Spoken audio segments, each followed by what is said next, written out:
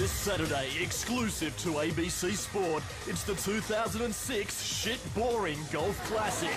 Over five hours of the most tedious golf you've ever seen in your life. Hole after hole of uneventful moments.